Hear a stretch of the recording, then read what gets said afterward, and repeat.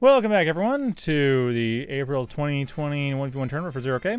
We have more matches. This time on a map we have not seen before called Firebreak, and we're going to be starting out with Yznetzni versus Niarteloc, which is a few newer players, but I like to do newer players around round four of the tournament because that's usually when you're going to get fairly even matches between them.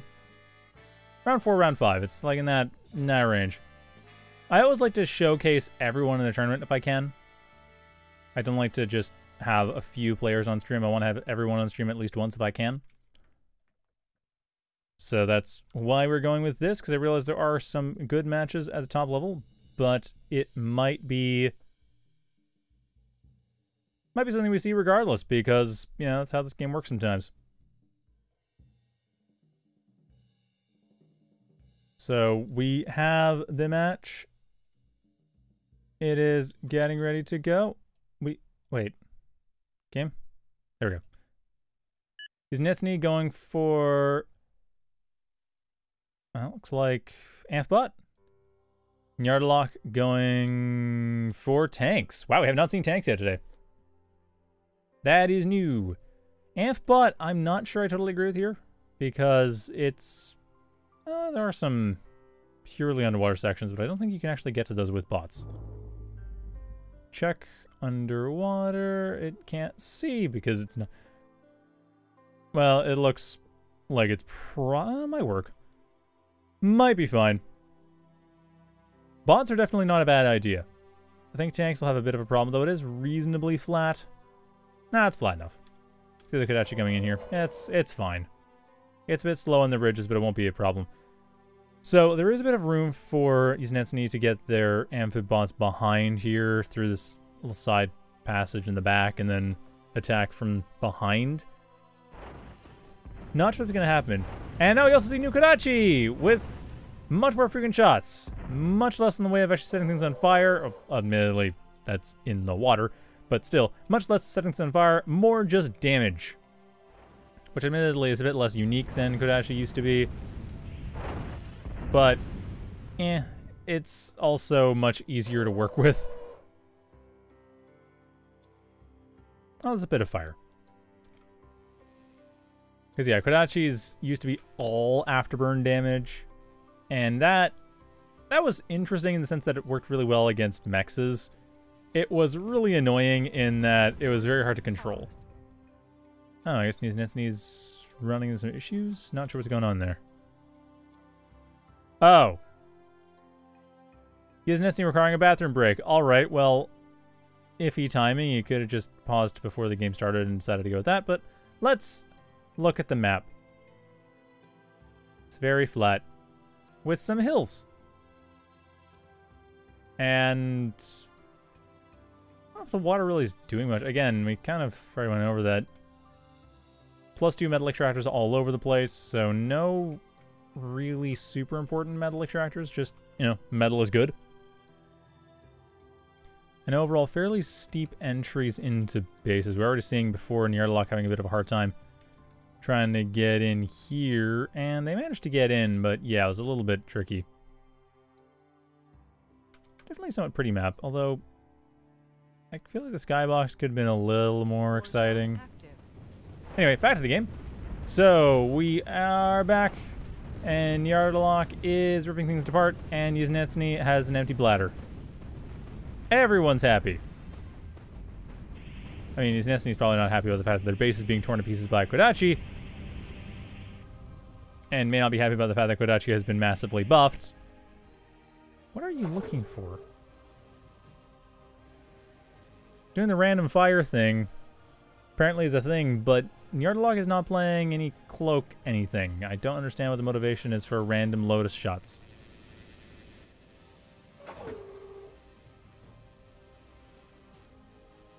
Alright, whatever. I guess just have random Lotus shots. I don't get that. Like, friendly fire is a thing, you know.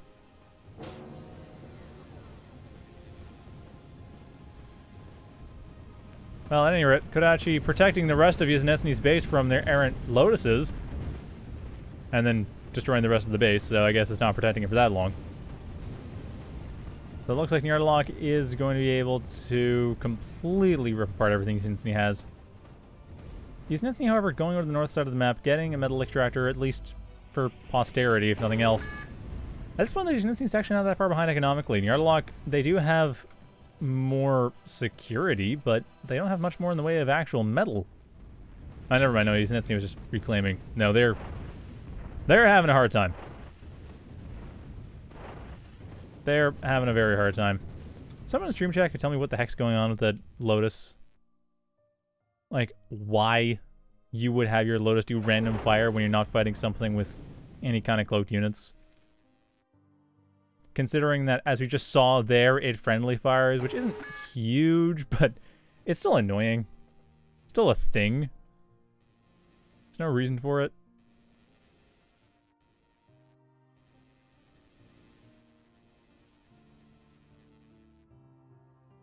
Now, maybe that was just an automatic behavior that Snetsny has set up for when fighting against enemies that have cloaked units, and they just don't turn it off. Curious and ill-advised, I would say, but sure, why not? Go for it. It's all good. Mana mana, though. Some Duck Scalps coming in here. Ogres coming in to counter that, and... Oh, whoa! Ogres double missiles now. Right. They changed that. Also buffed the torpedoes for Amphbots, but it doesn't matter because Ogres are a strong riot unit and just strong. Ogres don't care. Nyarlathotep surrounding on all sides. Snetsny doesn't have a whole lot left to work with, and honestly isn't building enough to use all their metal even. Does have boys coming in here, and those are going to try. They really are. They're not going to accomplish much, but they're going to try. Actually, they might be able to do some stuff against this ogre. The Kodachis, on the other hand, I don't... I don't think so. Yeah, those Kodachis aren't even going to get close. So, with that, I'm not sure where Snetsny expects to go with this, other than... I guess Mass Duck? Looks like Duck Boy. I can see the idea. I can see the strategy. Snetsny, according to the ratings, is a bit more experienced and a little bit higher ranked than Nyarlathotep, which tells me that Snetsny probably has a fair bit in terms of experience with later game play, like once the economy start to get going. Now, granted, Snetsny is not getting their economy going very quickly. It's constantly getting harassed. But Nyarlathotep is getting ahead, and one of the things, if you're dealing with a player who's not super experienced with mid to late game play, they can start to get a little overwhelmed when you start getting, you know, 20, 30, 40 metal. We are seeing as Snetsny manage to get the caretakers, or, sorry, Nyarlathotep get the caretakers up, so they shouldn't be accessing. What I'm worried about as far as Nyarlathotep is going is what are they're going to do when they get to like 30 or 40 and start looking at possible other factories or possibly just massing up things like Minotaurs, and where they decided to go with that. But it looks like they have that relatively well planned out, and also controlling the space as well, but Nyarlathotep seems okay. Is Nitsny having, again, trouble maintaining their armies? Although the boys are doing better than I predicted. I was wrong. The boys are actually doing a fine job. Okay, well, Flying Finn saying the Disco Lotus is being used just because why not? It's more entertaining than not doing that. It's their their hypothesis. Okay, cool. Thanks. And yes, this is I'm not sure if it's a new map, but it's definitely a map we haven't seen before. Or it's a map I haven't seen before. I think it's fairly new. Usually if I haven't seen a map, it's new. Like I try to cast a relatively large variety of maps, and this one I have not seen before. I don't know if it's a matchmaker pool now. I don't think it is. And a lot of times tournament tournaments like this will use unfamiliar maps. Especially ones that aren't in the matchmaker pool necessarily. Aquanim likes doing that in order to experiment with a larger variety of maps. And I do respect that. It does mean that I don't necessarily know all the maps offhand when I see them, though. But Nyarlathotep has been taking full advantage of that. I mean, the players did a pretty good job analyzing the map to begin with. Nyarlathotep, I think, was quite smart when it came to realizing they could play tanks. Like, the middle of the map wasn't that steep. They didn't have to worry about the tanks not getting through the water. The overall map is fairly flat, so tanks can work perfectly, and there's enough metal around quickly enough that it's viable. I mean, granted, that's the one thing I would have gone rovers personally if I was going to go for vehicles. Actually, probably would have. Uh, might have gone amp. I don't know if I would have gone amp on this. Probably would have gone hover, honestly. Hover or rovers. I don't know that I would have gone tank personally.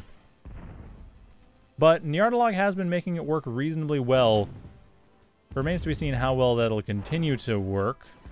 Unfortunately, Nyarlathotep is starting to run a little short on energy. They have been building a few solar collectors here and there. It's not quite enough yet, though. In fact, I'm not sure why Nyarlathotep is having a hard time actually maintaining their economy, but may not matter. As it is, Minotaur's coming in and being heavily harassed by ducks and boys. Unfortunately, not able to get rid of that factory, so Nyarlathotep still stuck just trying to crest that hill, and that's the one thing that tanks are having the trouble. It's just getting up this hill. It's red, so they can get up it. It's not purple. It's just a slow-going affair. It makes it an uphill battle. Now, granted, once you get uphill, it's different. But Kodachis are countered by boys and just the sheer number of units. It's just Nyarlathotep cannot get a large enough army all at once. And honestly, they're donating metal to Yznetzni.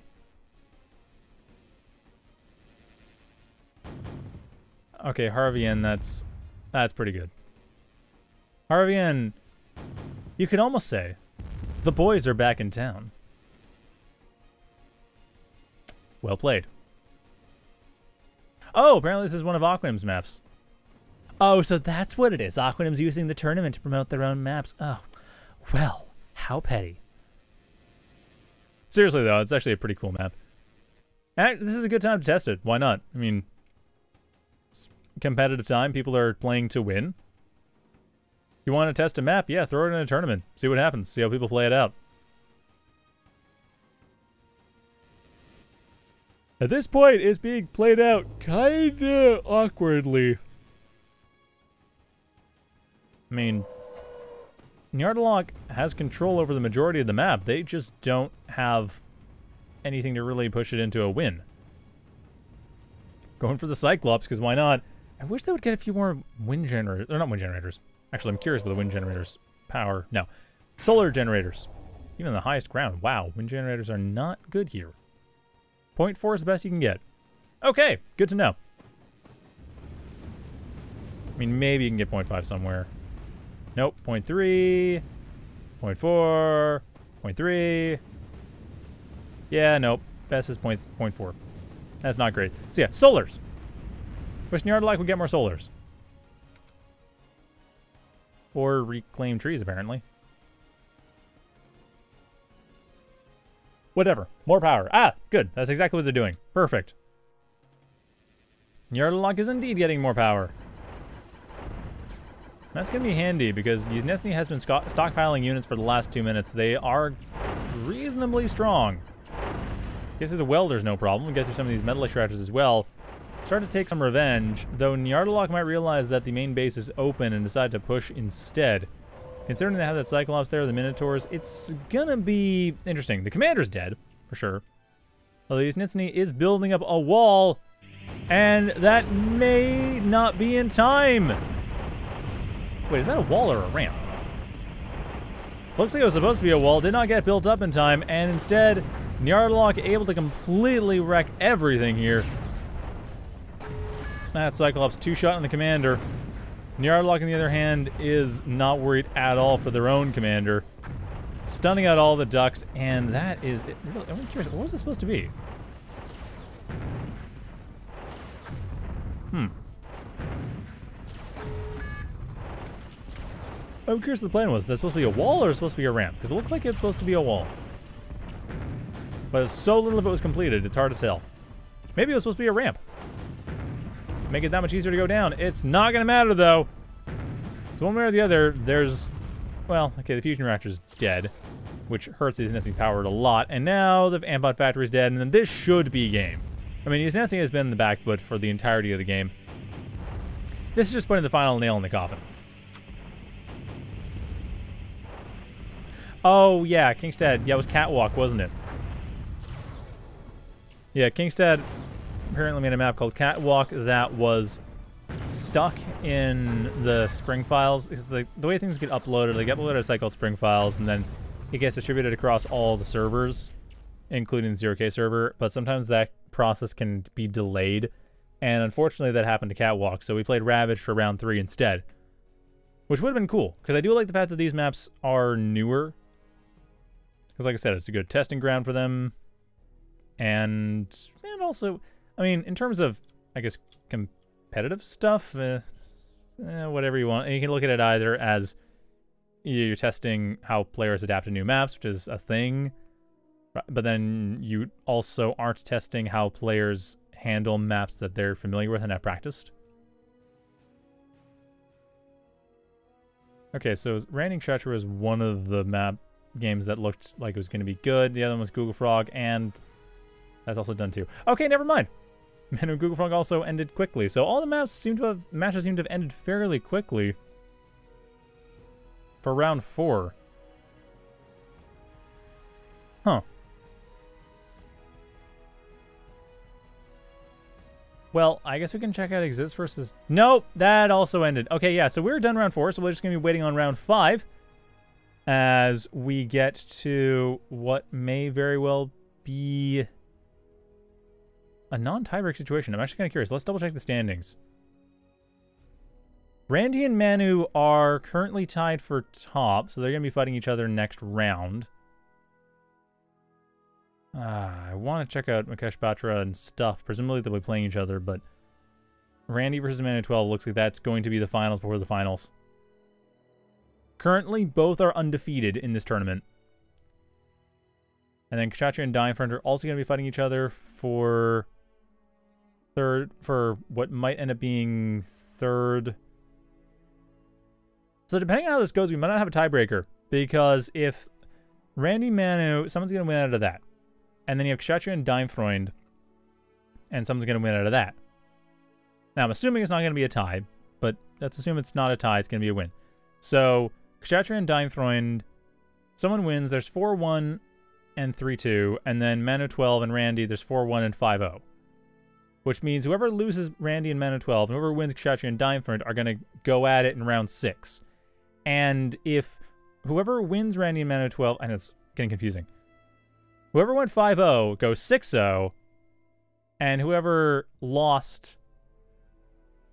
I don't know, whoever, if whoever goes 5-0 goes 6-0, if someone's undefeated this tournament, there won't be a tiebreaker. So we could actually be looking at no tiebreakers. Which I know is a very confusing thing to say. But yeah, if someone, whoever wins Manu 12 versus Randy, if they win their next match, then the first three places are set. And there's no need for a tiebreaker. Otherwise, it would be 5-1, 5-1, 5-1, and be a three-way tiebreaker. Oh, wait, really?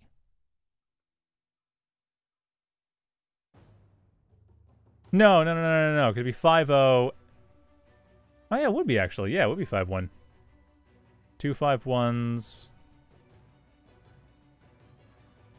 No, it'd be 5-1-4-2. Never mind. 5-1-5-1-4-2. That's what would happen. As opposed to 6-0-5-1-4-2. Anyway, mathing that out is a thing. So let's just wait for round five. Stay tuned. We'll be back with that and then round six after that.